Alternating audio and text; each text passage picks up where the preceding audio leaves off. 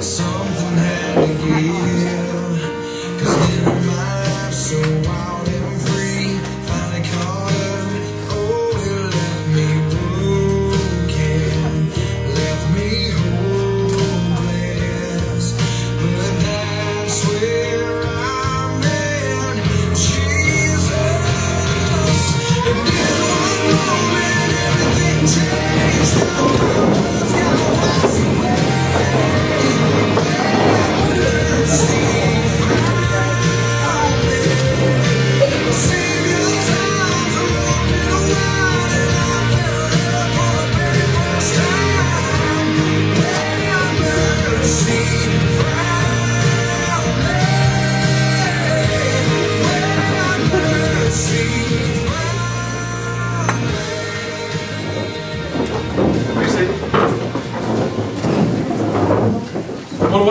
here today. Uh, Tim and Theresa wanted all of you to be a part of their special day. Uh, this renewing of their vows to one another uh, before God and before their friends. Uh, This is something we've been waiting for with great anticipation. So excited to be here today. So excited you guys are all here. Uh, you're welcome here anytime, by the way. Um, one of the things that, that they were adamant about, I said, well, how's the service going to go? What's, what's the plan? And uh, uh, Tim gave me a little piece of paper. It had about three things on it. Um, wasn't quite as much as, instruction as I was hoping for. Um, there's a song here and there's a song here, and we're going to talk here. And the only thing outside of that that he was certain about was he wanted the gospel shared. And so he and Theresa want the gospel shared at their vow renewal ceremony, and, and they left that to me to share however I wanted. And so, if I could just take a minute, I, I, what God laid on my heart in the last couple of days to share with you guys is: Are you on the road that goes where you want to be? And he reminded me of I'm a truck driver. Most of you know that. But there was one night I was I was driving this truck. It's about 2:30 in the morning. I'm over in East Tennessee, and I'm running up these little roads over there, trying to, to get up towards Michigan, delivering some auto parts. And there's this there's this spot where the road in the middle of this little bitty town, the road turns and goes this way. To stay on the state route, you got to make that turn. And I wasn't paying attention. I don't know what I was. I was listening to music or praying or something, half asleep. I don't know. But I'm driving along. I missed that turn. I just kept going straight which is perfectly fine. There's a perfectly good road there. I don't know where it was going to go. But I, I'm driving along and, and I start to get a little uncomfortable. This doesn't seem quite right. I've been on this route before, but I don't recognize this part of it. I don't, I don't know. And then I noticed that the road started getting narrower and narrower and narrower. And it went from two lanes to one lane. And I realized I was out in the middle of nowhere. And I realized right at that second that I had missed that turn back there in the middle of that little town. And quite honestly, I don't know where that road was going. But I was on it. And I was moving forward and I was going that direction. That, wherever that road went is where I was heading. And I started looking for somewhere to turn around this 70 foot truck out in the middle of nowhere in the foothills of the mountains on this one lane road at 3 o'clock in the morning. That's a scary thing. But, and of course, you'll think I'm making this up, but I'm not. Up in the distance was a church. There was one building outside of the, all these little house trailers, you know, these little bitty driveways, nothing I could turn in. Up in the distance, there was this church, and there was just enough room. It took me about, about five times forward, back, forward, back, forward, back to make a little turn and back into their parking lot and then get back out on the road and get back where I needed to be. So then I could get back on the route I was supposed to be on, on the road that went where I wanted it to go. And I was so thankful to be on that road. I paid a lot of attention the rest of the night of where I was headed, so I wouldn't make that mistake again. I'm, I'm, I'm thankful that I knew I was in trouble, that I knew I wasn't going where I wanted to be. I'm thankful there was a place to make a U-turn to get back where I needed to be. Now, Tim and Theresa have a story very similar to that in their marriage. They, they both realized that, that they had been on this road for a long time, and the road keeps going to eternity. And they're following this road. They, they both realized at some point it wasn't going where it needed to go. They, were, they had missed a turn somewhere. They were heading the wrong direction. And I, I remember the first time they came to me, and, and we're sitting in the office in here, and we're, we're talking about the thing. You know, all, all married couples, you understand what we're talking about. There's problems in any marriage. I remember sitting in there talking to them, and, and we all knew that they were heading the wrong way, and we all knew that what they needed was a U-turn to get back on the road that goes where they want to go. And I don't know if any of us thought that day that it was going to happen. Just to be quite honest. But here we are. Here we are. About a year and a half later, we're standing here. They're renewing their vows. She's been saved since then. Woo! Yeah. Tim has made changes in his life that I'm sure he'll talk about. Now they're, they're, they're both moving in the same direction, and it's the right direction. Because they realized the danger signs. They realized that where they were going wasn't where they wanted to be.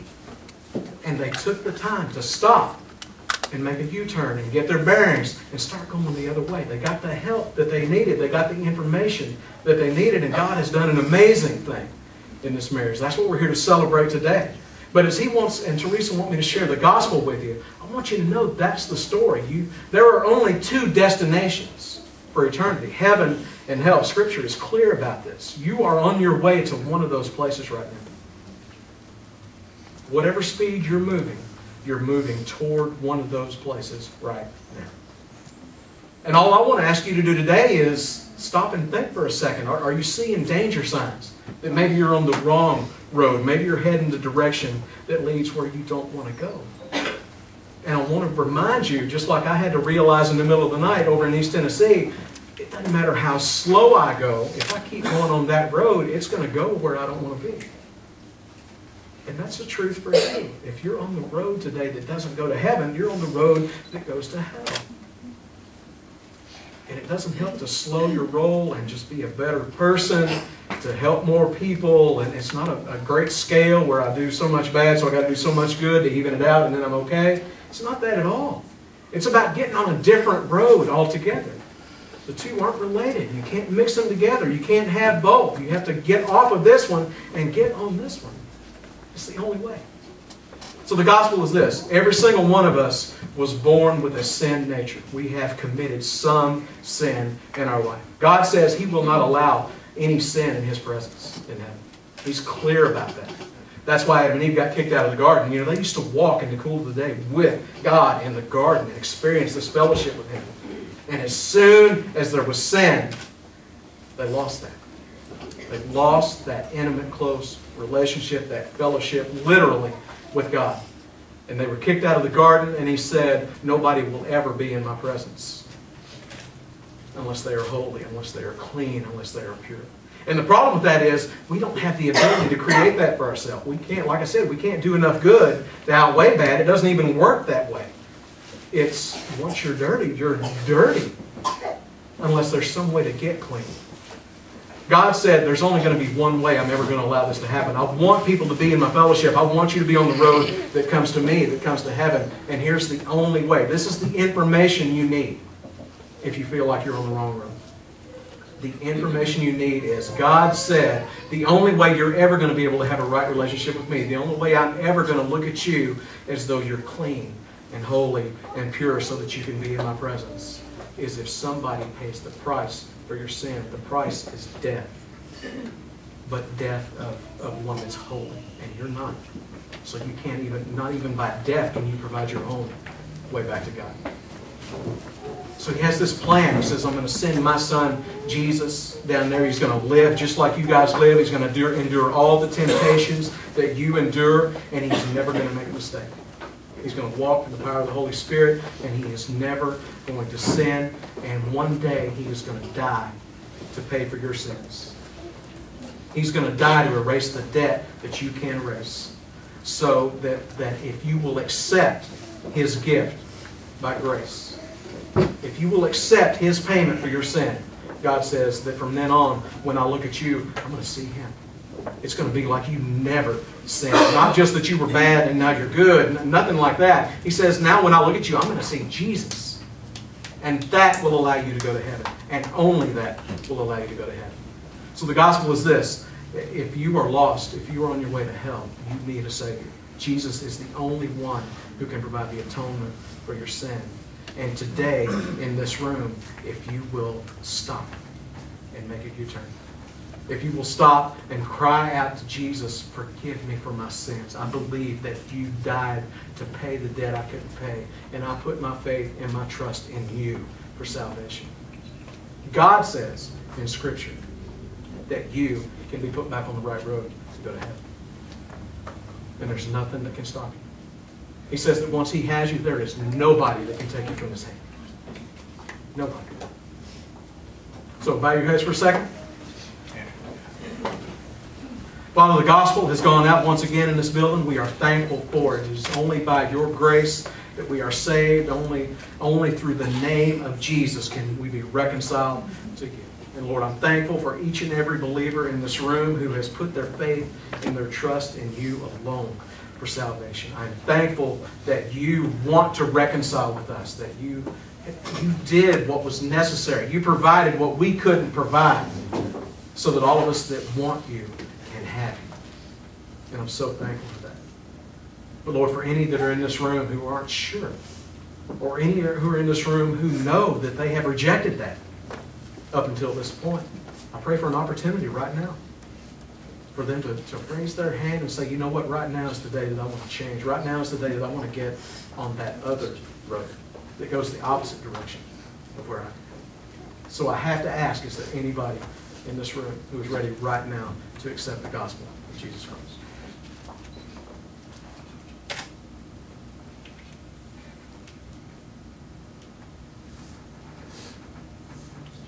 Father, I commend each and every one of the people in this room to you. I pray that you will do a mighty work in their lives. If they are followers of yours, I pray that you would strengthen them and comfort them and give them the peace that comes from knowing what their eternal destination is. And Lord, for those who are rejecting uh, of the faith up until this point, Lord, I, I pray for mercy. I pray for opportunity still for them to come to you before it's too late. Lord, you have told us it's appointed to a man once to die and then judgment. Our, our time is now. We don't, we don't know if we're going to be here tomorrow. We don't know how much time we have to ponder these things. So my prayer for those in this room who, who don't know, who don't follow you, I, I pray that, that they would have a, a, a lack of peace about the road that they're on. Lord, not for judgment's sake, not so that they'll feel bad about themselves, but so that they'll realize they're in danger. Like me that night when I saw the road kept getting narrower and narrower and narrower, and I realized I wasn't where I needed to be. Lord, I pray for that feeling for anybody in this room who doesn't know. And I pray that before they leave this place today, that they would come talk to me or, or one of the other folks here and, and let their questions be answered, let their hearts be relieved, let their souls be saved. Lord, we commit that to you. We thank you for the opportunity to share the truth. It's in Jesus' name we pray, and all God's people said, Amen. Amen.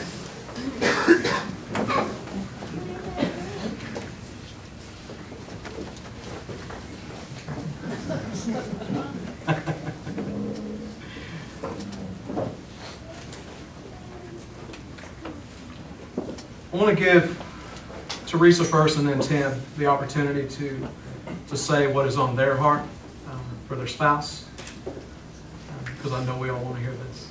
I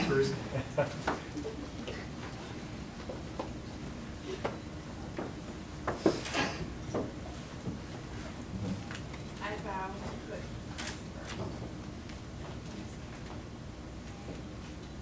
And I pledge my life to you, to be true to you emotionally, physically, and spiritually. And to never leave your side. Amen. Tim?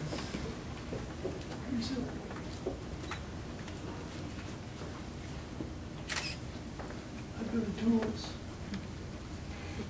Let me take a piece of steel, and it's rough, it's craggy in the detail, and and our job is to take away the stuff that doesn't belong, so it can be used for the purpose we to do the work that we've intended to do.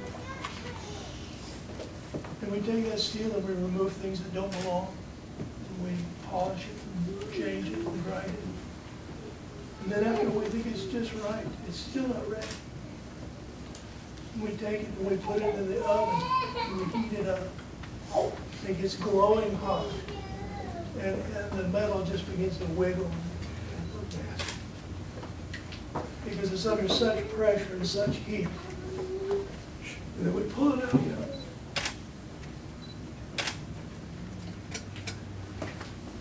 And we quench its heat in oil. And that metal has changed, and now it's tough. And it's ready to do the work it's got to do, and we bring it out and we polish it up and get the scale off of it, and the whole nature of the metal has changed. Theresa, I feel like I've been through the fire. And God has taken unforgiveness, so terrible. And unlovingness, is so terrible. And for 18 years, I couldn't even forgive you the simplest thing. God has taught me that now I can love you, not that kiddie bubblegum love, but a tempered love that's been in the Holy Spirit's oil. It's been fired and tested and proved. So I vow to love you. I mean, really love. And care more for your good than mine. And I vow to forgive you and be willing to forgive, walk in forgiveness with you. For even the simplest infraction or the most major heinous crime. I've done that. I promise to listen to your heart and to share my heart with you and not be a clam I promise to be faithful. Faithful to not only you, but to our union, our. And I promise to be not only to you this, but to the Lord. For those same things I need to do with him. I need to love him and forgive him when he does things I don't understand. And to listen to his word and to be faithful to him. And you, my children.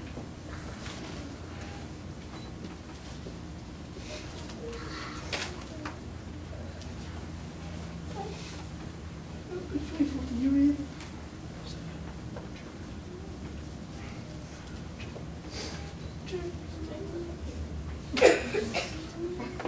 To love you, be faithful to you as my children, to listen to you, forgive you instead of judging. I promise the same thing to you guys. Till death takes me out of here too. So I love you. Love you, Jesus.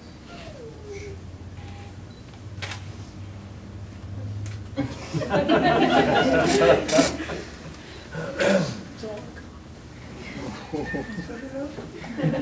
You said that's all I got, is that enough?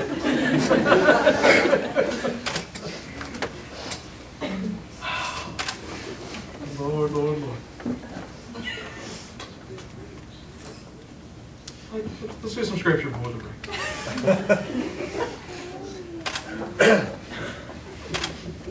Scripture lays out what, uh, what God expects from us in our marriage. He's pretty blunt about it. It's, it's not, it's not that it's easy, but it's, it's fairly simple.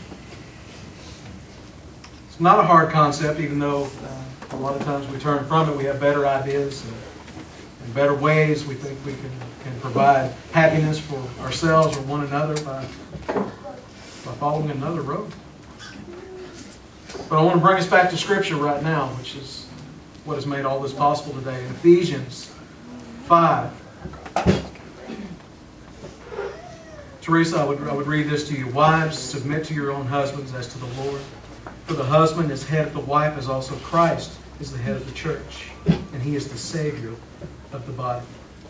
Therefore, just as the church is subject to Christ, so let the wives be to their own husbands in everything.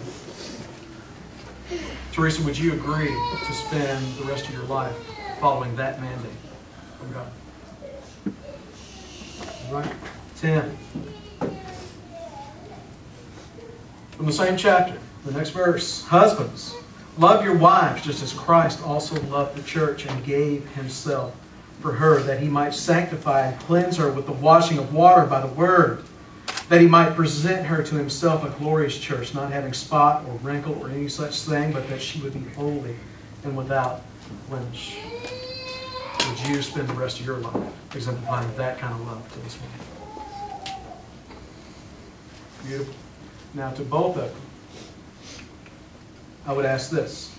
For this reason, a man shall leave his father and mother and be joined to his wife, and the two shall become one flesh. This is a great mystery, but I, I speak concerning Christ and the church. Nevertheless, let each one of you in particular so love his own wife as himself, and let the wife see that she respects her husband. This speaks of, of the institution of marriage and how it's supposed to represent a relationship with Christ.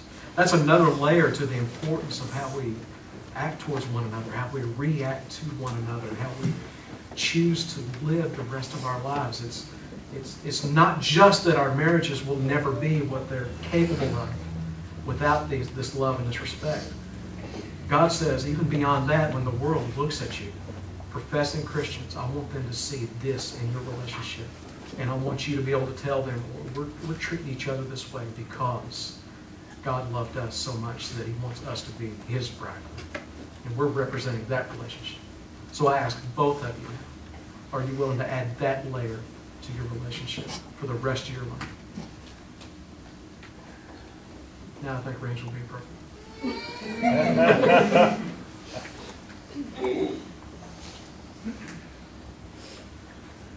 The ring, of course, symbolizes uh, eternity, circle that never ends.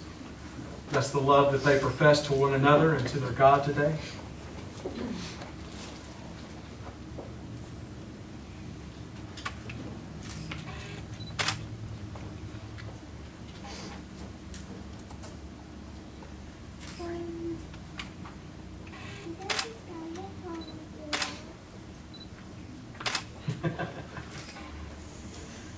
thought you said you weren't going to be giddy. No, I'm okay. Father, as, Tim and Theresa have, have stood here today and, and heard the words of Scripture concerning their relationship, and as they have poured out their hearts toward one another today before you and before the rest of their friends and their family here, Lord, I pray that you would sanctify this commitment. I pray that you would come alongside them and fill them with your Spirit to be able to carry out these vows that they have made today. Lord, let, let their relationship be this beacon to everybody around them that there is no such thing as too late as long as we are still breathing. There's no such thing as too far gone to come back. Lord, that is, that is so true just in our spiritual life with you and, and salvation, but it's, it's true in our relationships. Lord, there is no mountain that you can't move when, when two people who are diametrically opposed stop what they're doing and get on their knees and cry out to you saying, Lord, what do you want me to do? And Lord, as you have, have fixed those relationships between you and Theresa, between you and Tim, as they have, they, as they have worked on their relationship with you, it's amazing what you have done in bringing them together and allowing them to experience this new walk, this new thing, this new marriage. With your power right in the middle of it. Lord, it's an exciting thing to watch. I'm so thankful to have been able to see it. I pray that you would uh, protect them from the enemy as they go forward. Lord, I pray that you would again, sanctify this renewal of their vows to each other and to you. I pray that you would um, keep, the, keep these promises in the forefront of their mind. When the enemy steps in uh, in about five minutes from now and tries to get them to start walking the other direction again, Lord, I pray that you would strengthen them to stand against everything that would tear down what you have built up so far. Lord, we commit them to you, and we pray that, that as a church family and as, as their friends, that we would be of assistance to them in whatever way we can. Lord, bind us together in this. As, we are experiencing this renewal together, let us walk hand in hand with Tim and Theresa and help them whatever way we can. Let them have the ability to turn to us. Let us have the ability to help them when they do. Just remind us all that none of us is an island. None of us uh, can act uh, in such a way that it only affects us, it affects everybody around us. And, and protect us from, from keeping to ourselves and not turning to one another when you ask us to. Lord, do what, what only you can do. Take, take this thing that was broken and is now fixed. And as Tim was saying, Lord, Lord, refine it. Refine it, polish it up, and let it be a beacon of hope for all those around who think, man, there's just no way out of this problem. There's just no way to bring this marriage back. That's a lie from the enemy. We, stand against that today, and this is our proof, standing right before us. We thank you for what you've done, Lord. We glorify you and we praise your holy name. It's in Jesus' name that we pray, and everybody said? Amen. Now allowed to kiss your bride if you would like.